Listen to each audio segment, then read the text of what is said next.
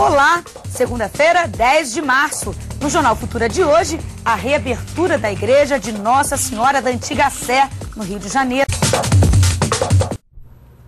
Um ano e meio após começar a ser restaurada, a igreja de Nossa Senhora do Carmo da Antiga Sé está de novo de portas abertas para o público. Neste domingo, houve missas e a estreia do espetáculo de som e luz, que conta episódios importantes da história da antiga Capela Real e do próprio país. A fila dobrava o quarteirão.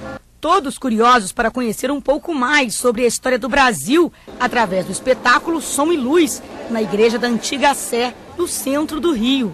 Espero que seja, que vale a pena, né? Tanto tempo fazendo essa restauração, né? Coisa maravilhosa, não há melhor oportunidade que essa. O evento faz parte da comemoração de 200 anos da chegada da família real ao Brasil e revive o período que a igreja era o local de onde aconteciam as cerimônias oficiais da corte. Não tem palavras, é muito lindo. A gente gosta muito, né? Lembra um pouquinho da nossa terra, né? História conduzida pelo Padre Borges, um cantor que testemunhou os primeiros acontecimentos do lugar. A voz é do ator Pedro Paulo Rangel.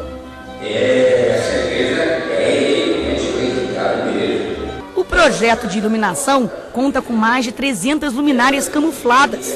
Para quem trabalhou mais de 20 dias para dar vida ao show, o momento é tenso e emocionante. São dois servidores e eles controlam é, desde o fechamento das cortinas laterais, é, luz, som, vídeo, tudo sincronizado num único software. Qualquer dedinho a mais vai embora antes do tempo. Esse é um lugar aqui de extrema importância na história do Brasil.